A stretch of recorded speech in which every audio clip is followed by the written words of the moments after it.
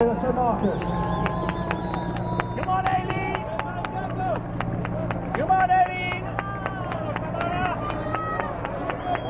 Come on, Heather!